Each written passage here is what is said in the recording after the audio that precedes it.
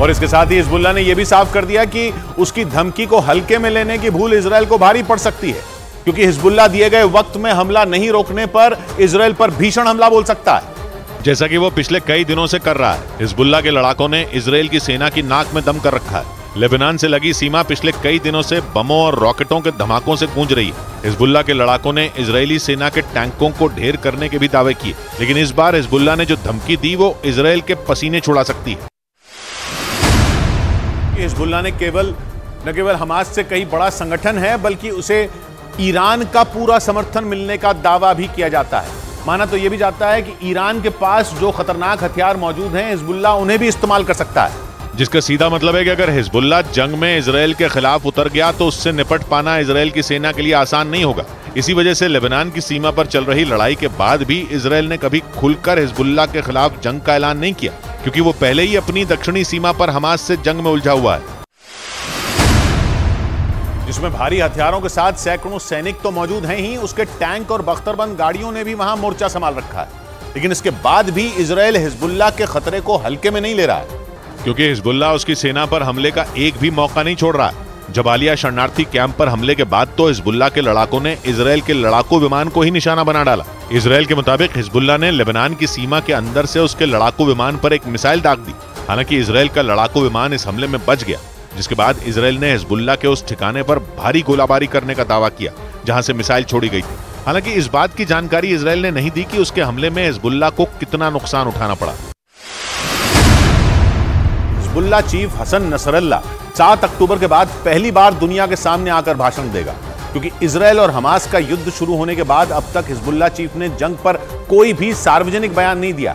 और जंग शुरू होने के बाद वो पहली बार दुनिया के सामने आने वाला है, जिससे इसराइल के लिए खतरे की बड़ी घंटी बच सकती है। क्योंकि हिजबुल्ला को हमास से ज़्यादा खतरनाक माना जाता है। और सबसे बड़ी बात यह कि हिजबुल्ला चीफ हसन नसरल्ला ने दुनिया के सामने आने के लिए जुमे का दिन चुना, जिसका सीधा कनेक्शन हमास की धमकियों से जोड़ा जा रहा है। क्योंकि 7 अक्टूबर के बाद आए हर जुमे के दिन हमास ने इसराइल पर बड़े हमले की धमकी दी है, जिससे जंग के और भयंकर होने का खतरा बढ़ गया। क्योंकि इस जुमे पर हिजबुल्ला चीफ हसन नसरल्ला दुनिया के सामने आएगा और इसराइल और हमास का युद्ध शुरू होने के बाद पहली बार कोई सार्वजनिक बयान देगा। हमास से जूझ रहे इसराइल के सिर पर एक और मुसीबत आ सकती। वैसे हिजबुल्ला चीफ हसन नसरल्ला अब तक चुप रहा है। और उसने इसराइल और हमास की जंग शुरू होने के बाद कोई भी सार्वजनिक बयान नहीं दिया है, लेकिन अचानक खबर आई कि वो टेलीविज़न पर भाषण देगा। और इस खबर ने इसराइल और अमेरिका समेत पूरे पश्चिम एशिया में उथल पुथल मचा दी, क्योंकि हिजबुल्ला हमास और पीआईजे, यानी पैलेस्टीनियन इस्लामिक जिहाद के नेताओं ने कुछ दिन पहले ही लेबनान में मुलाकात की थी। लेबनान के मीडिया ने दावा किया कि हिजबुल्ला चीफ हसन नसरल्ला ने हमास के नेताओं से मुलाकात की थी। हसन नसरल्ला की पीआईजे के नेताओं से भी मुलाकात हुई थी। और तीनों संगठनों ने इसराइल को चारों तरफ़ से घेरने की तैयारी कर ली थी। पश्चिम एशिया में मुस्लिम देशों पर अमेरिका की पकड़ कमज़ोर होती दिख रही है, क्योंकि गाजा पर हमले के बाद उन्होंने अमेरिका और इसराइल के खिलाफ मोर्चा खोल दिया, क्योंकि हमास के अंत के नाम पर इसराइल की सेना ने गाजा पट्टी पर इतने बम बरसाए कि हज़ारों मासूम लोगों की जान चली गई। जिससे पश्चिम एशिया के मुस्लिम देश इसराइल और अमेरिका पर भड़क गए। दुनिया दो टुकड़ों में बढ़ती दिखी, क्योंकि ईरान ने मुस्लिम देशों के गुस्से की आग में घी डाल दिया। रही से कसर उसने हमास और हिजबुल्ला के ज़रिए पूरी कर दी। सात अक्टूबर के बाद तो कोई भी शुक्रवार ऐसा नहीं बीता जब हमास ने इसराइल के खिलाफ मुस्लिम देशों से एकजुट होने की अपील न की हो।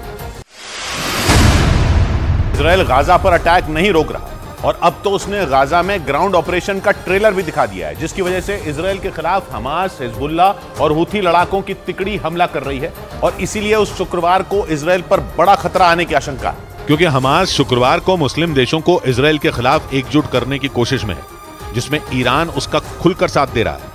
और अब तो हिजबुल्ला चीफ हसन नसरल्ला भी मैदान में उतरने की तैयारी में है, जिसके लिए उसने भी शुक्रवार, यानी जुमे का दिन ही चुना। यानी इस शुक्रवार पर इसराइल पर बड़ा वार होने का खतरा है, क्योंकि हमास और हिजबुल्ला के अलावा हूथी लड़ाके भी इसराइल को धमका रहे हैं। गाजा पट्टी के अलग अलग इलाकों पर आसमान से बम, रॉकेट और मिसाइलों की बारिश कर रहा है, ताकि हमास का सफाया किया जा सके। लेकिन इस चरमपंथी संगठन के चीफ इस्माइल हनिया का दावा है कि इसराइल अपनी पूरी ताकत लगाने के बाद भी हमास से जीत नहीं पाएगा। क्योंकि गाजा पट्टी में हमास ने इसराइल को घुटनों पर लाने की बड़ी तैयारी कर रखी। है इस्माइल हानिया का दावा है कि अगर इजरायली सेना गाजा पट्टी में मौजूद उसके गढ़ में दाखिल हुई तो वहाँ से इसराइल का एक भी सैनिक ज़िंदा वापस नहीं जाएगा। मतलब हमास के मुखिया ने सीधे सीधे इसराइल की ताकतवर सेना को ललकार दिया। जंग के करीब चार हफ़्ते बाद बाकायदा उसने एक वीडियो जारी कर 7 अक्टूबर को हुए हमले को हमास की जीत बताया। इस्माइल हनिया का दावा है कि हमास के खूंखार और बेरहम लड़ाकों के आगे इसराइल की हाईटेक सेना टिक नहीं पाएगी। हालाँकि इसराइल की सेना ने गाजा पट्टी में अपना जमीनी अभियान शुरू कर दिया है और हमास के ठिकानों और उसके कमांड सेंटरों पर ताबड़तोड़ बमबारी करने में जुटी है। पिछले कुछ दिनों में इसराइल की सेना ने गाजा पट्टी में घुसकर कई बार सर्जिकल स्ट्राइक की है इसराइल के अखबार द टाइम्स ऑफ़ इसराइल की एक रिपोर्ट के मुताबिक, इसराइली सेना की सर्जिकल स्ट्राइक में हमास को काफ़ी नुकसान पहुँच रहा है। और माना जा रहा है कि इसी वजह से इस चरमपंथी संगठन का मुखिया इस्माइल हानिया बौखलाया हुआ है।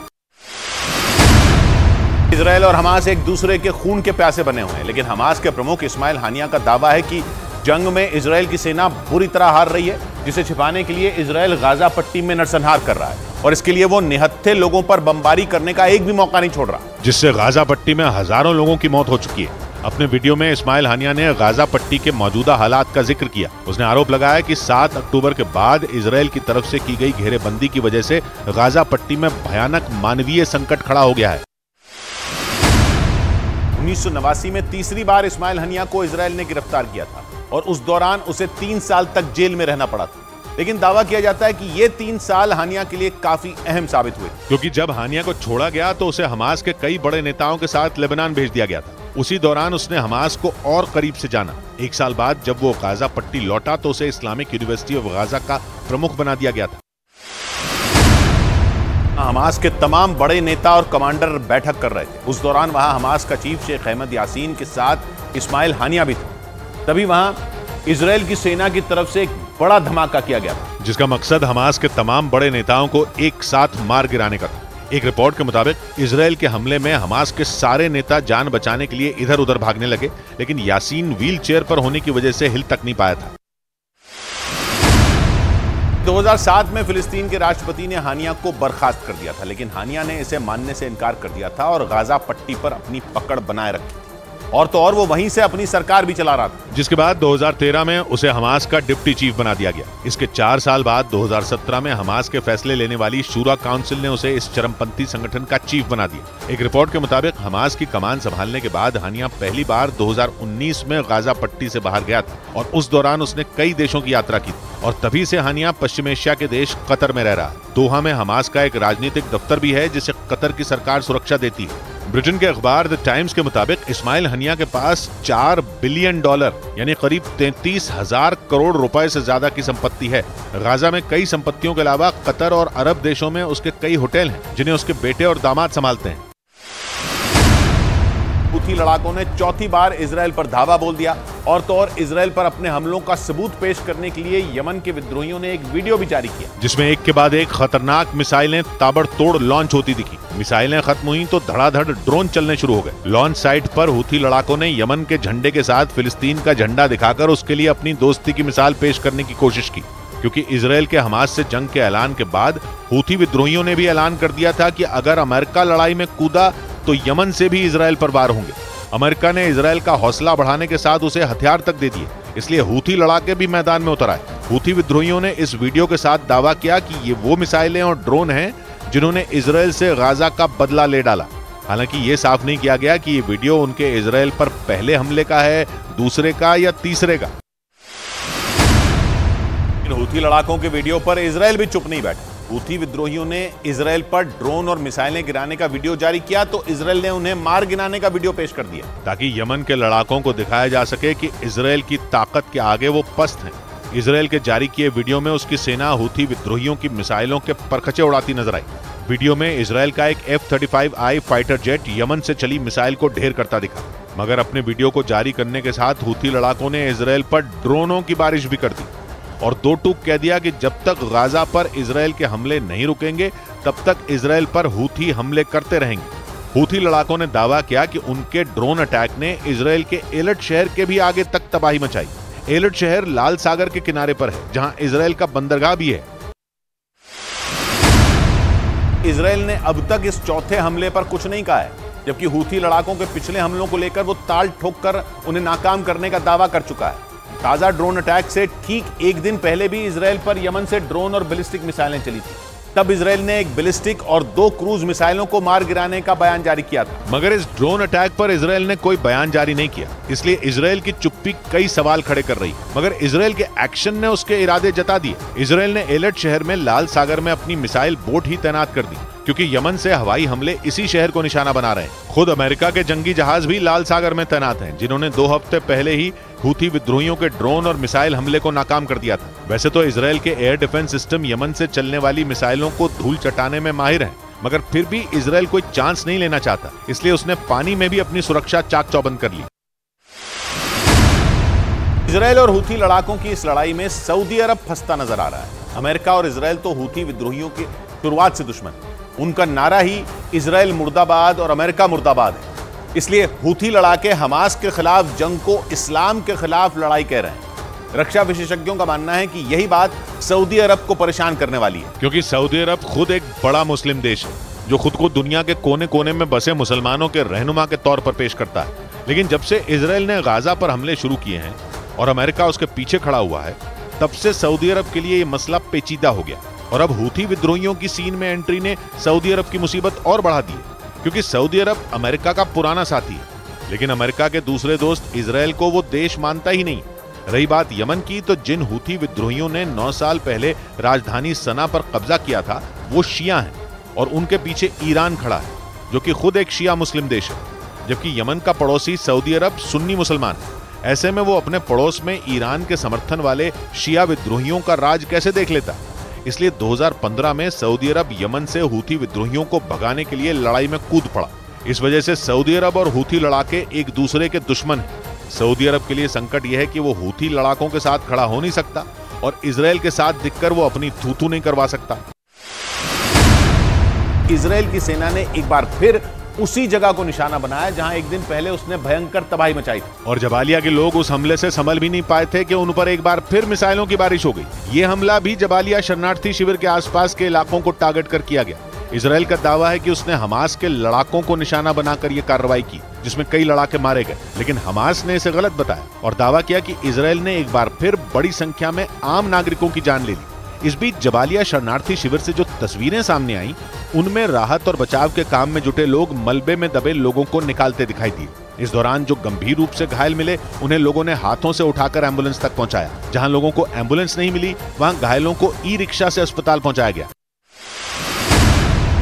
गाजा पट्टी के उत्तरी हिस्से को काफ़ी नुकसान पहुँच चुका है। इसराइल के लगातार हमलों से वहाँ की सैकड़ों इमारतें तबाह हो चुकी। और सबसे बुरा हाल तो गाजा के अस्पतालों का है क्योंकि एक तरफ़ जहाँ लगातार हमलों में घायल हुए लोग अस्पताल पहुँच रहे हैं तो दूसरी तरफ़ वहाँ इलाज के लिए ज़रूरी चीज़ों की भारी किल्लत लेकिन सीमाएँ सील होने की वजह से इसराइल की तरफ़ से गाजा को कोई मदद नहीं मिल पा रही तो मिस्र ने भी गाजा के नागरिकों के लिए अपने दरवाजे बंद कर रखे हैं जिससे वहाँ के हालात पूरी तरह पटरी से उतर चुके हैं। कई देश इसराइल पर जंग खत्म करने का दबाव भी बना रहे हैं। इस लिस्ट में दक्षिण अमेरिकी देश अर्जेंटीना का भी नाम जुड़ गया।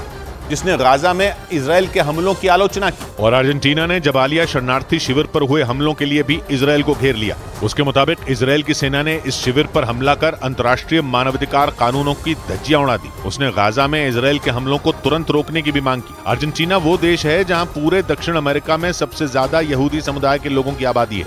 लेकिन इसके बावजूद उसने इसराइल को अंतर्राष्ट्रीय कानूनों की याद दिलाकर इस जंग को खत्म करने की अपील की। हालाँकि इसके साथ ही अर्जेंटीना के विदेश मंत्री ने बंधकों का भी मुद्दा उठाया और हमास से सभी बंधकों को छोड़ने की मांग कर दी। अर्जेंटीना से पहले दक्षिण अमेरिका के कई दूसरे देश भी इसराइल के खिलाफ अपना विरोध जता चुके हैं। एक दिन पहले ही बोलिविया ने इसराइल के साथ अपने सभी राजनयिक रिश्तों को तोड़ने का ऐलान किया। और उसने भी गाजा में हमलों को रोकने की मांग की।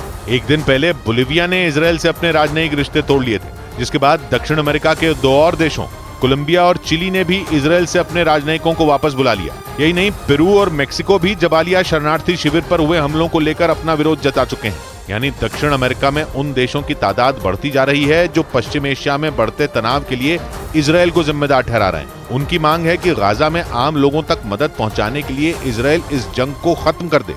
हालाँकि इसराइल पहले ही साफ़ कर चुका है कि वो ऐसा कुछ भी नहीं करेगा क्योंकि उसके मुताबिक सीज फायर का मतलब होगा हमास के लड़ाकों के सामने सरेंडर करना। इसराइल के जमीनी ऑपरेशन के बीच हमास ने एक ऐसा वीडियो जारी किया जिसे देखकर इसराइल के सैनिक भी खौफ से भर गए होंगे क्योंकि जो वीडियो सामने आया उसमें हमास के लड़ाके इसराइल की फौज पर आसमान से बम गिराते दिखाई दिए।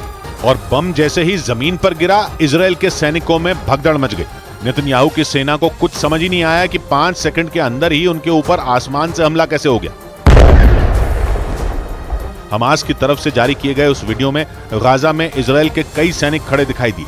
सब कुछ उनके लिए ठीक चल रहा था, लेकिन तभी आसमान से हमास ने उन पर बम गिरा दिया, जिसके बाद इसराइल के सैनिक जान बचाकर इधर उधर भागने को मजबूर हो गए। हमास ने इस वीडियो को जारी कर यह दिखाया कि वो भी इसराइल की सेना पर आसमान से हमले करने में पीछे नहीं है। सात अक्टूबर के बाद से ही इसराइल की सेना गाजा में आसमान से जोरदार हमले कर रही है। लेकिन अब उसके सैनिक गाजा के अंदर घुसकर भी हमास पर हमले कर रहे हैं। इसराइल के सैनिकों ने गाजा में घुसते ही हमास के ठिकानों पर ऐसे हमले किए कि उनके कई ठिकाने तबाह हो गए। जमीनी ऑपरेशन के दौरान सैनिकों के ऊपर हुए हमले से इसराइल का गुस्सा और ज़्यादा भड़क गया। और इसीलिए इसराइल के सैनिकों को सिर्फ़ हमास के लड़ाकों की मौत ही दिखाई दे रही है। वो उनके खून के ऐसे प्यासे हैं कि बमों की बारिश करने के साथ ही ज़मीन पर तोप से भी हमले करने से पीछे नहीं हट रहे। इसराइल का एक एक सैनिक हमास के ठिकानों को पूरी तरह बर्बाद करने के मकसद से गाजा में घुसकर हमले कर रहा। दिन हो या रात, आसमान और ज़मीन दोनों जगहों से इसराइल के सैनिक हमास के खात्मे के लिए पूरी ताकत से लड़ रहे हैं। गाजा में जमीनी ऑपरेशन के दौरान इसराइल के हाथ बड़ी कामयाबी लगी। इसराइल की सेना के मुताबिक उसने गाजा में हमास के एक और कमांडर को मार गिराया। बताया गया कि मोहम्मद एतजार नाम का वो कमांडर हमास की एंटी टैंक मिसाइलों की यूनिट का मुखिया था। लेकिन इसराइल की सेना के हमले से वो बच नहीं पाया। इसराइल की फौज के मुताबिक उसने उसके ठिकाने पर इतना बड़ा हमला बोला कि उसकी मौत हो गई। इसराइल ने हमास की एंटी टैंक मिसाइलों की यूनिट के कमांडर मोहम्मद एतजार को मारने का एक वीडियो भी जारी किया, जिसमें एक जोरदार धमाका होता नज़र आया। जिसे देखकर ऐसा लगा मानो वहाँ कोई ज्वालामुखी फट गया। इसराइल की सेना के मुताबिक उसने सबसे पहले मोहम्मद एतजार की सटीक लोकेशन का पता लगाया और फिर बम गिराकर उसके ठिकाने समेत उसे ढेर कर दिया। खबर है कि अपने कमांडर की मौत से हमास इतना ज़्यादा आग बबूला हो उठा कि उसने भी इसराइल की सेना के एक बड़े अधिकारी को मौत की नींद सुला दी। बताया गया कि इसराइल के जिस अधिकारी को हमास ने अपने निशाने पर लिया, उन्होंने 7 अक्टूबर को हमास के हमले से कई लोगों को बचाया था। और इसीलिए वो हमास की हिट लिस्ट में शामिल थे। बीते कुछ दिनों में इसराइल की सेना का पूरा ध्यान गाजा में घुसकर जमीनी ऑपरेशन चलाने पर रहा है।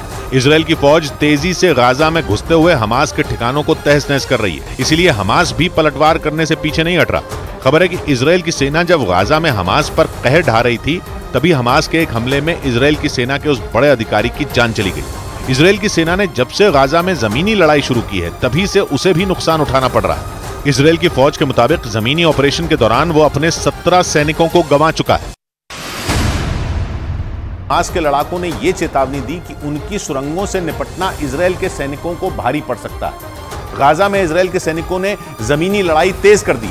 ताकि हमास के लड़ाकों का सफाया हो जाए। और इसी लड़ाई के बीच हमास ने इसराइल को चेतावनी देते हुए वो वीडियो जारी किया। सामने आए उस वीडियो में इसराइल की सेना पर हमास के लड़ाके सुरंगों से निकलकर हमले करते दिखाई दिए। वीडियो में सुरंगों से कंधे पर रखकर दागी जाने वाली एक मिसाइल लेकर हमास का एक लड़ाका निकलता दिखाई दिया और दावा किया गया कि सुरंग से निकलकर उस लड़ाके ने सामने खड़े इसराइल के एक टैंक पर निशाना साधा और पल भर में उसे ध्वस्त कर दिया। इस तरह की एक और तस्वीर में जंगल में बनी एक सुरंग के अंदर से निकलकर हमास के लड़ाकों ने इसराइल के एक दूसरे टैंक को नेस्त नाबूद कर दिया। बताया गया कि जंग के बीच सुरंग से हमले का ये वीडियो जारी कर हमास ने इसराइल को बड़ी धमकी दे डाली। और दावा किया गया कि गाजा में ये सुरंगें हमास के लिए वरदान है। कई किलोमीटर तक बनी इन सुरंगों में हमास के लड़ाकों ने पनाह ली। दावा यह किया गया कि इसराइल की सेना पर हमले करके हमास के लड़ाके इन्हीं सुरंगों में छिप रहे हैं। और बताया गया कि इन सुरंगों में हमास के लड़ाकों के लिए सारी सुविधाएँ मौजूद हैं। इसराइल की सेना के मुताबिक इन सुरंगों में हमास के लड़ाकों ने अपने रॉकेट और गोला बारूद का जखीरा छिपा कर रखा है। इन सुरंगों में हमास के लड़ाकों के लिए खाने पीने की चीज़ों से लेकर उनकी ज़रूरत का हर सामान मौजूद है। में हमास के सुरंगों का इतना लंबा नेटवर्क है कि उसे खोज पाना इसराइल की सेना के लिए मुश्किलों से भरा। इसलिए इसराइल की सेना गाजा में छोटे छोटे जमीनी हमले कर रही है ताकि उनके जवानों को ज़्यादा नुकसान ना हो। क्योंकि हमास की सुरंगों की वजह से इसराइल की सेना को जमीनी हमले में परेशानी हो रही है। न्यूज़ एजेंसी रॉयटर्स की एक रिपोर्ट के मुताबिक हमास ने पूरी गाजा पट्टी में सुरंगों का जाल बिछा रखा है। जो इसराइल के लिए किसी खतरे से कम नहीं। दावे के मुताबिक गाजा पट्टी में हमास की सुरंगें 500 किलोमीटर से ज़्यादा हैं, जिनमें कुछ के दरवाजे दक्षिण में मिस्र की सीमा के पास खुलते हैं तो कुछ के दरवाजे उत्तर और पूर्व में इसराइल की सीमा के करीब खुलते हैं। सुरंगों पर हमले की प्लानिंग के साथ इसराइल ने हमास के एक नेता का वीडियो जारी कर उसकी पोल खोल दी। उस वीडियो में हमास के उस नेता ने यह दावा किया कि गाजा में मौजूद सभी सुरंगें उनके लड़ाकों की सुरक्षा के लिए न कि गाजा के नागरिकों के लिए। जबकि हमास गाजा में फिलिस्तीनियों के लिए लड़ने का दावा करता रहा है। सामने आए उस वीडियो में हमास के नेता ने एक सवाल के जवाब में बताया कि गाजा में मौजूद सुरंगें उनके लड़ाकों की सुरक्षा के लिए। इसके साथ ही हमास के उस नेता ने गाजा में फिलिस्तीनियों की सुरक्षा का जिम्मा संयुक्त राष्ट्र को उठाने को कहा। इसराइल ने इस वीडियो के ज़रिए दावा किया कि हमास फिलिस्तीनियों का हमदर्द नहीं है। इसराइल पर 7 अक्टूबर से जारी कहर जल्द नहीं थमने वाला, बल्कि हमास का दावा है कि इसराइल पर हमला चार गुना और बढ़ जाएगा। जिसके बाद यह आशंका जताई जाने लगी कि हमास की तरफ़ से किए जा रहे हमलों की वजह से इसराइल में कई और लोगों की जान जा सकती है। क्योंकि हमास ने सीधे शब्दों में यह कह दिया कि 7 अक्टूबर को हुए जिस हमले को इसराइल अपने खिलाफ सबसे बड़ा हमला मान रहा है वैसे कई और हमले होने अभी बाकी हैं। और अब तो उसने डंके की चोट पर यह कह दिया कि ये लड़ाई थमने के बजाय और भीषण होगी हमास ने सीधे सीधे शब्दों में ये चेतावनी दे दी कि जिस तरह से 7 अक्टूबर को इसराइल की ज़मीन थर्राई थी, उसी तरह से अभी एक के बाद एक कई और हमले होंगे। हमास के अधिकारी गाजी अहमद के मुताबिक हमास ने अपनी सुरंगों में इतना बारूद इकट्ठा कर लिया है कि वो चाहे तो 7 अक्टूबर जैसे चार और हमले इसराइल पर कर सकता है।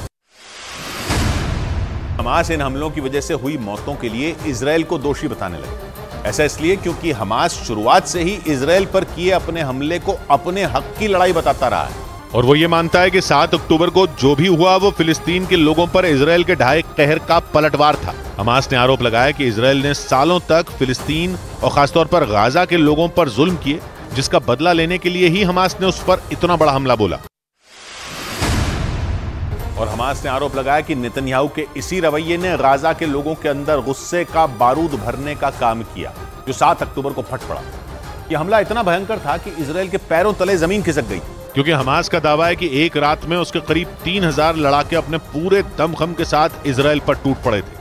इस हमले के 25 दिन बाद हमास के कमांडर गाजी अहमद ने उस रात की प्लानिंग से पर्दा उठाया। जानकारी के मुताबिक, हमास ने इसराइल को घुटनों पर लाने के लिए तीन हज़ार से ज़्यादा लड़ाके तैनात किए थे, जिन्होंने इसराइल में उनका रास्ता रोकने वाले करीब डेढ़ हज़ार लोगों को जान से मारने के साथ ही 500 लोगों को बंधक बना लिया था। अमेरिका ने 7 अक्टूबर के बाद से लगातार इसराइल का साथ दिया और कंधे से कंधा मिलाकर उसके साथ खड़ा रहा। और अपने सैनिक और जंगी जंगी जहाज़ इसराइल की मदद के लिए भेज दिए थे। लेकिन जंग के 27वें दिन बाइडेन से जंग को कुछ समय के लिए रोकने की बाइडेन ने सलाह दी जिससे हमास के अंत के लिए गाजा में तबाही मचा रहे इसराइल को झटका लग सकता। है क्योंकि बाइडेन के सुर अचानक बदले बदले नज़र आए। क्योंकि एक कार्यक्रम के दौरान बाइडेन ने बयान दिया कि उन्हें लगता है कि जंग में एक विराम की ज़रूरत है, जिससे उनका मतलब गाजा में फंसे लोगों को वहाँ से निकलने का समय देना है। इससे पहले गाजा के आम लोगों को राहत सामग्री पहुँचाने पर भी अमेरिका नर्म रुख दिखा चुका है। और इस बारे में बाइडेन ने दो दिन पहले ही नेतन्याहू से बात भी की थी, जिसके बारे में बाइडेन ने एक दो नहीं, बल्कि 200 लोगों के कार्यक्रम में खुलकर बात की। छोटे से युद्ध विराम का सुझाव दिया जब कार्यक्रम के दौरान लोगों ने उनके सामने युद्ध विराम के नारे लगाए, जिसके बाद बाइडेन ने बयान दिया कि वो पश्चिम एशिया की भावनाओं को समझते हैं। क्योंकि मौजूदा वक्त में वहाँ रहने वाले मुस्लिम और यहूदी समुदाय के लिए कठिन है माना जा रहा है कि बाइडन के सुर इसलिए बदले क्योंकि अमेरिका में कई संगठन और नेता गाजा में इसराइल की बमबारी से नाराज़ हैं। और इसे ही बाइडन के सीज फायर पर बदले सुर की वजह माना गया। क्योंकि खबर है कि अमेरिका के कुछ मुस्लिम नेताओं और अरब अमेरिकन ग्रुप के सदस्य बाइडन से नाराज़ हैं। और उन्होंने मांग की कि बाइडेन गाजा में सीज फायर के लिए तुरंत कदम उठाएँ। उन्होंने शर्त रखी कि अगर बाइडन ने उनकी बात नहीं मानी तो 2024 के चुनाव के लिए उनको मिलने वाली फंडिंग बंद कर दी जाएगी। साथ ही वो डेमोक्रेटिक पार्टी को वोट भी नहीं देंगे। पिछले कुछ दिनों से वो पसोपेश में नज़र आ रहा है, क्योंकि एक तरफ़ जहाँ उसका पुराना दोस्त इसराइल है, दूसरी तरफ़ मुस्लिम देश है, जिसकी वजह से उसकी परेशानी बढ़ सकी। क्योंकि इसराइल किसी कीमत पर जंग नहीं रोकना चाहता, क्योंकि वो हमास की जड़ को जड़ से खत्म करना चाहता है। और दो दिन पहले ही नेतन्याहू ने खुलकर गाजा में सीज फायर से इनकार कर दिया था, जबकि संयुक्त राष्ट्र समेत पश्चिम एशिया के मुस्लिम देश सीज फायर के लिए इसराइल पर दबाव बना रहे हैं और इस चक्कर में अमेरिका भी पिस गया, क्योंकि हमास से जंग में अमेरिका इसराइल के साथ है। उसने कदम कदम पर अपने इस दोस्त का साथ दिया, उस तक हथियार पहुँचाए, लेकिन जंग के बीच पश्चिम एशिया में समीकरण बदलने लगे और अमेरिका के कट्टर दुश्मनों चीन, ईरान और रूस का इस जंग में दखल बढ़ गया। वो खुलकर गाजा में जंग रोकने की मांग करने लगे। पश्चिम एशिया में खेमेबंदी शुरू हो गई और लगने लगा कि अमेरिका को इसका नुकसान हो रहा है। और बात तो तब बढ़ गई जब इस मुद्दे पर बाइडेन का अमेरिका में ही विरोध होने लगा, जिसके बाद बाइडेन ही नहीं, अमेरिकी विदेश मंत्री भी सक्रिय हो गए। क्योंकि अमेरिकी विदेश मंत्री ने एक बार फिर पश्चिम एशिया का दौरा करने की तैयारी कर ली और हमास से जंग शुरू होने के बाद तीसरी बार इसराइल जाने का फैसला किया। यही नहीं, ब्लिंकन इसराइल के पड़ोसी देश जॉर्डन भी जाने वाले हैं। वो भी ऐसे समय में जब जॉर्डन ने इसराइल से अपना राजदूत वापस बुला लिया और इसराइल से बोल दिया कि जंग रुकने के बाद ही दोनों देशों के रिश्ते सुधरेंगे। चीन और रूस इसका फ़ायदा उठा रहे हैं और ईरान तो खुलकर अमेरिका से झगड़ा मोल ले रहा है, जिसने 2024 में चुनाव लड़ने की तैयारी में जुटे बाइडेन की परेशानी बढ़ा दी। क्योंकि अमेरिका में अरब मुसलमानों के एक संगठन के कराए एक सर्वे में सामने आया कि अमेरिका में बसे मुसलमान बाइडेन से बहुत ज़्यादा नाराज़ है, जबकि पिछले चुनाव में अमेरिकी मुसलमानों ने बाइडेन को बढ़ चढ़कर वोट दिए थे। लेकिन अरब मुसलमानों के एक संगठन के एक सर्वे से पता चला कि अमेरिकी अरब मुसलमानों का मन बाइडेन से उठ चुका है। वो बाइडेन के इसराइल का बढ़ चढ़कर समर्थन करने से नाराज़ हैं और उनका कहना है कि अगर बाइडेन ने गाजा पट्टी पर इसराइल के हमले नहीं रुकवाए तो राष्ट्रपति चुनाव में उनका वोट बाइडेन को नहीं मिलेगा। अमेरिका की न्यूज़ कंपनी पोलिटिको ने खबर छापी कि जो अमेरिका जंग में इसराइल के पीएम के कंधे पर हाथ रखकर खड़ा है, वो खुद मान रहा है कि इसराइल के प्रधानमंत्री के दिन लदने वाले हैं। दावा किया गया कि यह चेतावनी खुद बाइडेन ने इसराइल के पीएम बेनिमिन नेतन्याहू को पिछले महीने ही दे दी थी। जब बाइडेन इसराइल का समर्थन करने के लिए खुद इसराइल पहुँचे थे, एयरपोर्ट पर नेतन्याहू के गले लगकर उन्होंने उनका हौसला बढ़ाया था। लेकिन अब खबर आई कि अपने उस दौरे के वक्त बाइडेन नेतन्याहू को उनकी कुर्सी जाने की चेतावनी देकर गए थे। उन्होंने नेतन्याहू से साफ़ कह दिया था कि जंग की वजह से उनका इसराइल का प्रधानमंत्री बने रह पाना मुश्किल है। इसलिए उन्होंने जो जो सबक सीखे हैं, उनकी लिस्ट बना लें, ताकि उन्हें अगले प्रधानमंत्री को दे सकें। अमेरिका को एक डर यह भी है कि अपनी कुर्सी बचाने के लिए नेतन्याहू गाजा की जंग को और भड़का सकते हैं। कतर के न्यूज़ चैनल अल जजीरा को दिए एक इंटरव्यू में नेतन्याहू पर स्टडी करने वाले एक मनोवैज्ञानिक ने भी माना कि यह मुमकिन है। क्योंकि नितिनयाहू इसराइल से ऊपर अपने निजी हित रखते हैं और अपने हाथ में सत्ता रखने के लिए किसी भी हद तक जा सकते हैं। इसलिए पिछले महीने हमास के हमले के तुरंत बाद उन्होंने जंग का ऐलान कर दिया था। ताकि इसराइल के आक्रामक तेवर दिखाकर पूरी दुनिया का ध्यान इसराइल की सरकार और सुरक्षा एजेंसियों की नाकामी से हटाया जा सके। हुआ भी वही। हर जगह इसराइल के एक्शन के चर्चे होने लगे और उसकी नाकामी की खबर को उतनी तवज्जो नहीं मिली। नितनयाहू ने हमास को मिटाने के लिए गाजा के ऊपर इतने बम गिरवाए कि इसराइल के साथ अमेरिका तक पर उंगली उठने लगी। हमास के पाताल लोक तक पहुँचने का रास्ता इसराइल की फौज के लिए साफ़ हो जाएगा। इसराइल की फौज के निशाने पर सेंट्रल गाजा का शिफा अस्पताल बताया जा रहा है। और उसके नीचे छिपे हमास के लड़ाकों तक पहुँचने के लिए इसराइल की फौज एक बड़े प्लान पर काम कर रही। है हमास के लड़ाकों के अंत के लिए इसराइल गाजा के कई अस्पतालों पर बम बरसा चुका है। इसराइल की फौज अब बड़े बड़े जहाजों को फ्लोटिंग अस्पतालों में बदलने की योजना पर काम कर रही है। यानी पानी के ऊपर तैरते हुए अस्पताल बनाने की योजना है। हमास समेत पश्चिम एशिया के चरमपंथी संगठनों से अमेरिका को नज़र हटाना भारी पड़ गया। ऐसा इसलिए क्योंकि 2001 में अमेरिका पर हुए सबसे बड़े आतंकी हमले से पहले अमेरिका की खुफिया एजेंसी हमास समेत कई संगठनों पर नज़र बनाए हुई थी। अलकायदा की वजह से अमेरिका की नज़र हमास और हिजबुल्ला समेत पश्चिम एशिया के कुछ चरमपंथी संगठनों से हट गई थी, क्योंकि अमेरिका का मकसद आतंकी संगठन अलकायदा को खत्म करने का था। और इसके साथ ही हिजबुल्ला ने यह भी साफ़ कर दिया कि उसकी धमकी को हल्के में लेने की भूल इसराइल को भारी पड़ सकती है, क्योंकि हिजबुल्ला दिए गए वक्त में हमला नहीं रोकने पर इसराइल पर भीषण हमला बोल सकता है। हिजबुल्ला ने केवल, न केवल हमास से कई बड़ा संगठन है, बल्कि उसे ईरान का पूरा समर्थन मिलने का दावा भी किया जाता है। माना तो यह भी जाता है कि ईरान के पास जो खतरनाक हथियार मौजूद हैं हिजबुल्ला उन्हें भी इस्तेमाल कर सकता है। जिसमें भारी हथियारों के साथ सैकड़ों सैनिक तो मौजूद हैं ही। उसके टैंक और बख्तरबंद गाड़ियों ने भी वहाँ मोर्चा संभाल रखा है। लेकिन इसके बाद भी इसराइल हिजबुल्ला के खतरे को हल्के में नहीं ले रहा है। क्योंकि हिजबुल्ला उसकी सेना पर हमले का एक भी मौका नहीं छोड़ रहा। है हूथी लड़ाकों के वीडियो पर इसराइल भी चुप नहीं बैठा। हूथी विद्रोहियों ने इसराइल पर ड्रोन और मिसाइलें गिराने का वीडियो जारी किया तो इसराइल ने उन्हें मार गिराने का वीडियो पेश कर दिया। ताकि यमन के लड़ाकों को दिखाया जा सके कि इसराइल की ताकत के आगे वो पस्त हैं। इसराइल ने अब तक इस चौथे हमले पर कुछ नहीं कहा है जबकि हूथी लड़ाकों के पिछले हमलों को लेकर वो ताल ठोक कर उन्हें नाकाम करने का दावा कर चुका है। ताज़ा ड्रोन अटैक से ठीक एक दिन पहले भी इसराइल पर यमन से ड्रोन और बैलिस्टिक मिसाइलें चली थी। इसराइल और हूथी लड़ाकों की इस लड़ाई में सऊदी अरब फंसता नज़र आ रहा है। अमेरिका और इसराइल तो हूथी विद्रोहियों के शुरुआत से दुश्मन उनका नारा ही इसराइल मुर्दाबाद और अमेरिका मुर्दाबाद है। इसलिए हूथी लड़ाके हमास के खिलाफ, जंग को इस्लाम के खिलाफ लड़ाई कह रहे हैं। इसराइल की सेना ने एक बार फिर उसी जगह को निशाना बनाया जहाँ एक दिन पहले उसने भयंकर तबाही मचाई थी। और जबालिया के लोग उस हमले से संभल भी नहीं पाए थे कि उन पर एक बार फिर मिसाइलों की बारिश हो गई। ये हमला भी जबालिया शरणार्थी शिविर के आसपास के इलाकों को टारगेट कर किया गया।